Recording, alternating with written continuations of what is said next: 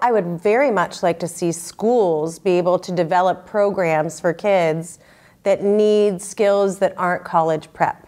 BusinessJournalDaily.com. Three Minutes With is brought to you by Farmers National Bank. The following is an excerpt from the Brain Gain Youngstown Leadership Series. The new podcast features conversations with local leaders who are focused on building a culture of entrepreneurship and promoting workforce development. So, do you notice, would you have any recommendations or ways to encourage this region to embrace change? Like, where do you see the future of our region from a leadership standpoint? Are we heading in the right direction?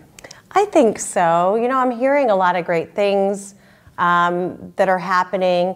I think, you know, um, Youngstown's home, right? This, right. this whole thing is home to me. So, I certainly hope so. I, I, see what's happening in Lordstown. We were talking off camera right. about that. I, I couldn't be more thrilled to see jobs coming back there, and they're it's it's innovative what they're doing. Right. You know, and and the work that districts, school districts are doing with business advisory councils, that's innovative. That is. Um, you know, people I see all the time, people saying, you know, make sure that we're pushing uh, career tech and skilled trades, and and we're doing that. Mm-hmm. It, you know, when I graduated, it was you're going to college or you're going into the military, and, and there weren't there weren't many other options, or at right. least not presented to me. Right. So, um, you know, I, I'm seeing now that I feel like we're we're on the right path because we're starting that dialogue.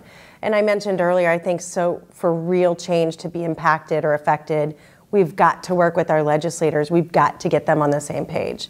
Because as much work as we're doing, if the law doesn't change, about what's provided in schools, then um, you know we're gonna we're just gonna be spinning our wheels. No, you're right. I mean, I, I sit here and think, uh, you know, not to get into politics, but you know, any entrepreneur, tell me the rules of the game and I'll make it happen. And so a lot of times the whole, you know, legislative process, it's like, eh, just don't screw it up and I'll just we'll just make it work.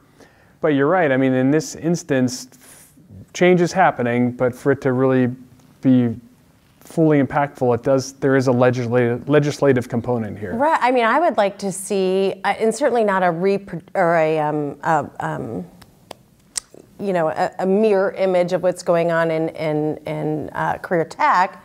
But I, w- I would very much like to see schools be able to develop programs for kids that need skills that aren't college prep.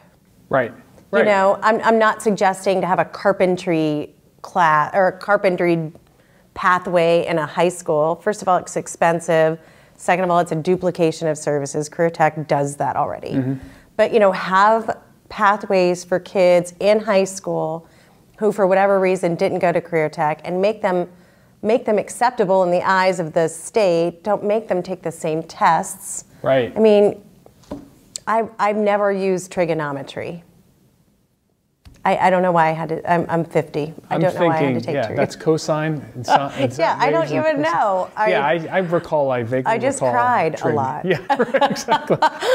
I took four years of Spanish. I, I, and I get why you have. You know, I get why we introduce kids to those things. Right. But I was going to college. I knew I was going to college. I needed those courses. But the kid that didn't go to college and and didn't go to the military probably didn't need trig and probably could have benefited much more from subjects that were right. more attractive to him right, or her. Right. And so it, I'm hearing there's a very explicit effort, and I, I literally see it, but just to, for your, from your perspective, there is an explicit effort to establish career pathways and to have oh, yeah. a broader array of choices available. Yeah.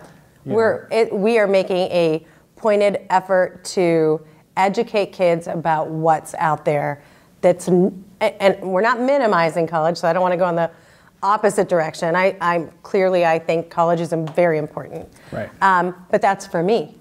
Right. So you know what we're trying to do is make sure everybody's got options that are individualized to them and that they're educated about them. The interview you just watched is an excerpt from the Brain Gain Youngstown Leadership Series. The new podcast features conversations with local leaders who are focused on building a culture of entrepreneurship and promoting workforce development. Thanks for watching the video. Be sure to like, subscribe, and hit that little bell for notifications. And also make sure to connect with us on Twitter, Facebook, and LinkedIn.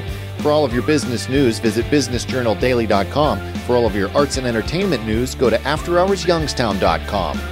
BusinessJournalDaily.com. Three Minutes With is brought to you by Farmers National Bank. I like a bank that's a pillar in my community.